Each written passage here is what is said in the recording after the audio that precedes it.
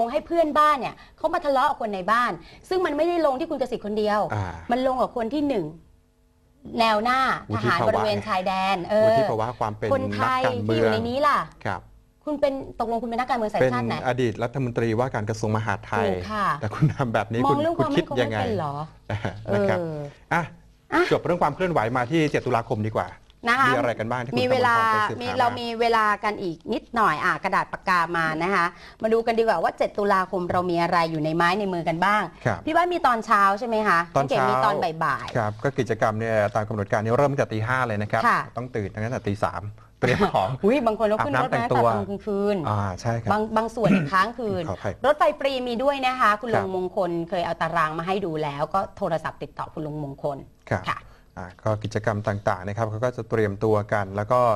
ตั้งแต่ช่วงตีห้าถึง6โมงเช้าค่ะ เนี่ยนะครับก็จะมีการจัดกิจกรรมทางศาสนานะคทุรักบศาสนาเลย นะครับแล้วก็มีการเตรียมความพร้อมเต็นต์ต่างๆ ในงานก็จะมีเต็นท์จำหน่ายหนังสือ ค่ะ เต็นท์จำหน่ายของที่ระลึกนะครับ แล้วก็เต็นท์รับบริจาคสำหรับ STV แล้วก็บริจาคต่างๆ ด้วยนะครับ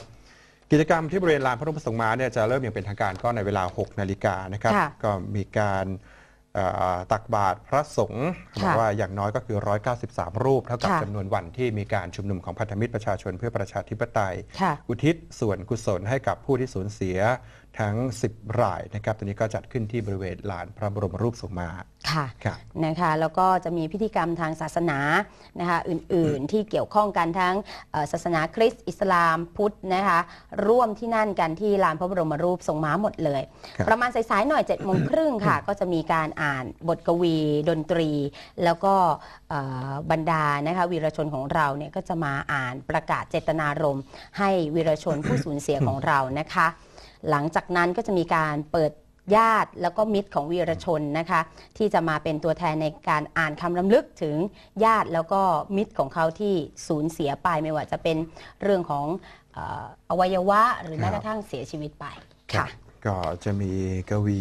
สำคัญสำคัญที่ร่วมค่ะกับพันธมิตรมาอย่างต่อเนื่องนะครับ อย่างอาจารย์นวรัตน์พงษ์ไพบูลย์นี่ค่ะวันก่อนก็เพิ่งประสบอุบัติเหตุที่กาญจนบุรีมา ค่ะก็จะมาร่วมงานด้วย คุณวสันต์สิทธิเขตนะครับอาจารย์นัทแล้วก็ครอบครัวก็จะมา ก็จะมีการไว้อะไรนะครับค่ะ สงบนิ่ง 5 นาทีในช่วงประมาณ 9 นาฬิกาแล้วก็จะมีการอ่าตั้งขบวนที่บริเวณแยกมิสกวัน เดินไว้อะไรให้กับวีรชน ค่ะ มุ่งหน้าไปสู่อนุสาวรีย์ประชาธิปไตยโอ้นะครับในช่วงสายไฮไลท์มันอยู่ช่วงนี้แหละ ๆครับ แต่ไม่บอก นี่ ไม่รู้บอกได้เปล่านะไฮไลท์อยู่ช่วงนี้นะคะช่วงที่เราจะตั้งขบวนกันอยู่ที่มิสกวันแยกมิสกวันนะคะไปจนถึงบริเวณอนุสาวรีย์ประชาธิปไตย และณบริเวณอนุสาวรีย์ประชาธิปไตยค่ะ เรานะคะก็จะมีกิจกรรมร่วมกันนะคะรำลึกถึงทุกวิญญาณของวีรชนที่สูญเสียชีวิตตลอดการต่อสู้ หลายคนถามว่าทำไม 10 นะคะ10เนี่ยก็คือในเหตุการณ์ช่วงการชุมนุมเนี่ยเรามีทั้ง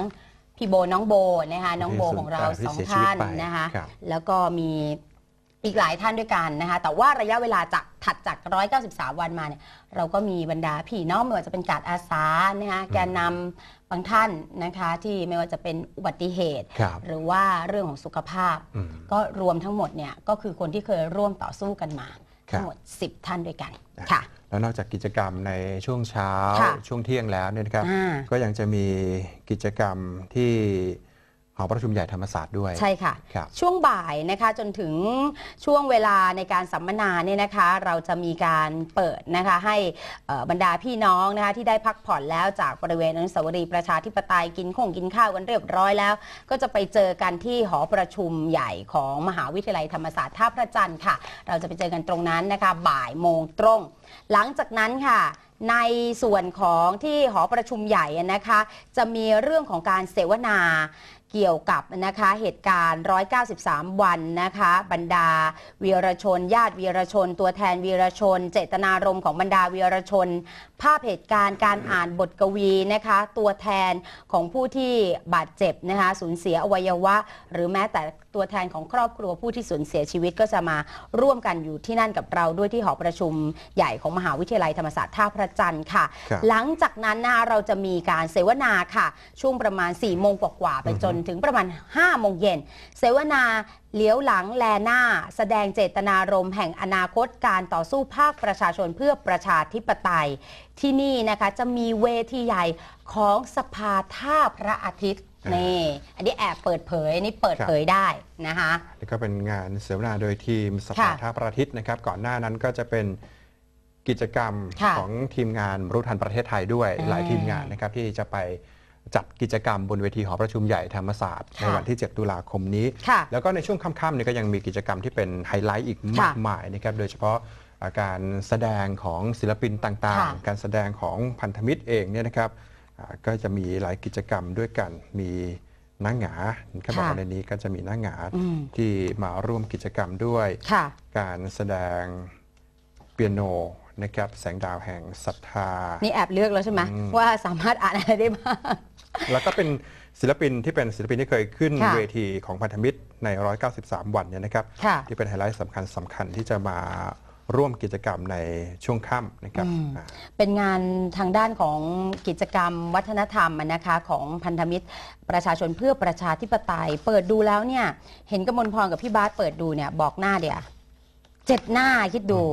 เจ็ดหน้าเนี่ยอัดแน่นนะคะไปด้วยเรื่องราวนะคะทางวัฒนธรรมของบรรดา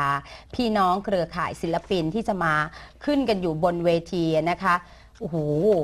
ตามตารางเนี่ยจะเสร็จ ตามตารางเนี่ยนะคะจะน่าจะเสร็จไม่เกิน4ี่ทุ่มหรือว่า5้าทุ่ม โดยประมาณนะคะประมาณครับ5้าทุ่มกว่าๆห้าทุ่มสี่สิบห้าแต่เชื่อไหม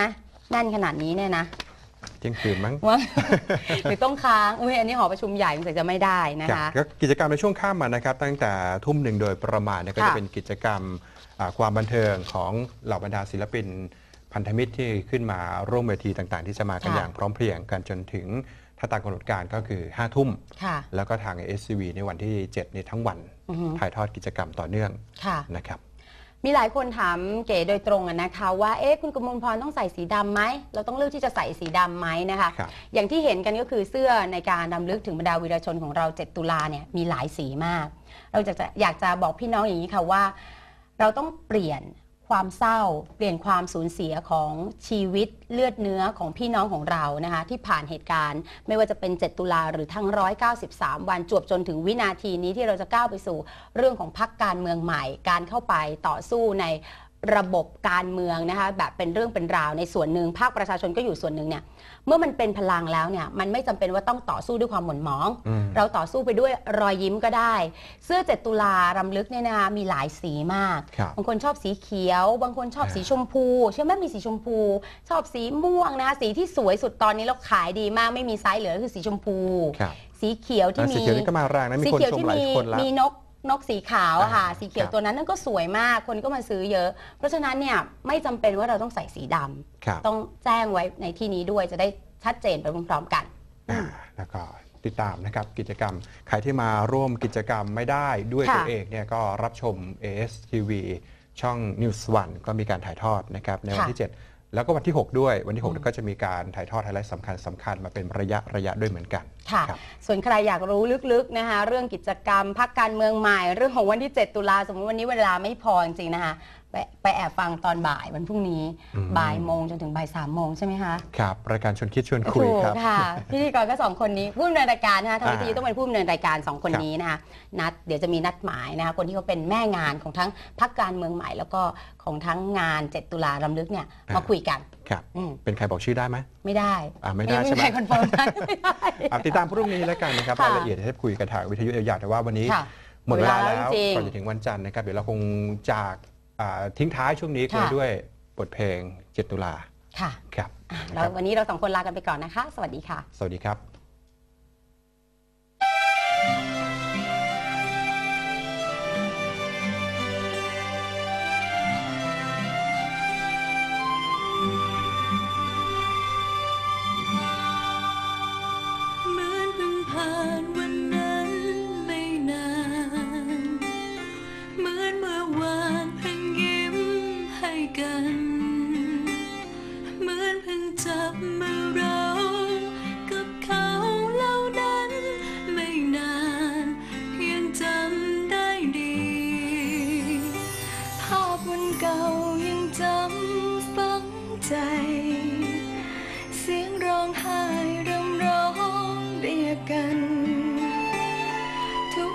ทุ